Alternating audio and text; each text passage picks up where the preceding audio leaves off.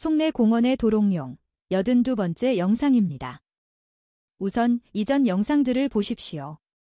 특히 수심이 얕은 곳으로 올챙이들이 몰리는 이유에 대한 가설을 다룬 12번째 영상을 보십시오. 올챙이가 육식도 합니다. 저는 올챙이가 육식을 하는 장면을 촬영한 적 있습니다. 하지만 송내 공원의 도롱뇽 웅덩이에 사는 계곡산 개구리 올챙이들은 초식동물을 떠올리게 합니다. 얼룩말이나 토끼처럼 무언가를 계속 뜯어 먹고 있을 때가 많습니다. 저는 송내 공원에서 올챙이가 육식을 하는 장면을 한 번밖에 관찰하지 못했습니다. 반면 도롱뇽 유생은 육식동물을 떠올리게 합니다. 여기저기 돌아다니면서 끝없이 사냥을 시도합니다. 올챙이들이 한 곳에 우글우글 모여 있을 때가 많습니다. 반면 도롱뇽 유생은 그런 행태를 전혀 보이지 않는 것 같습니다. 이것은 올챙이가 초식동물 또는 사냥감 동물에 가깝고 도롱뇽 유생이 육식동물 또는 포식동물에 가깝기 때문인 듯합니다. 사냥감 동물이 떼짓기 행동을 보이는 경우가 많습니다.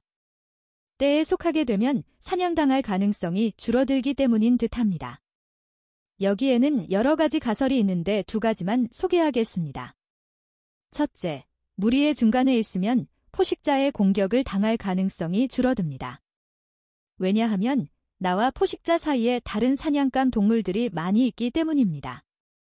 둘째, 무리에 속한 사냥감 동물들이 이리저리 움직이면 포식동물이 혼란에 빠질 수 있습니다.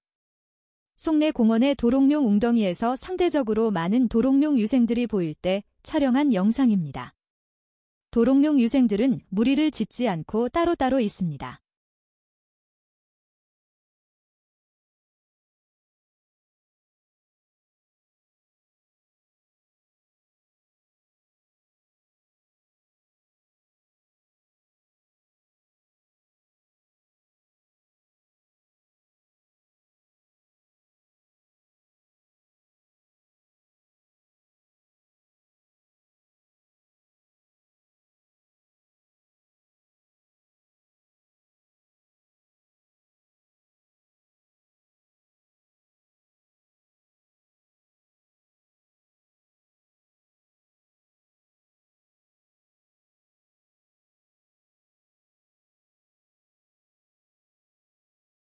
반면 올챙이들이 떼짓기를 하는 광경은 쉽게 목격할 수 있습니다. 그 이유를 제가 정확히 알 수는 없지만 사냥당할 가능성이 줄어들기 때문에 올챙이가 떼짓기를 하도록 진화한 듯 합니다.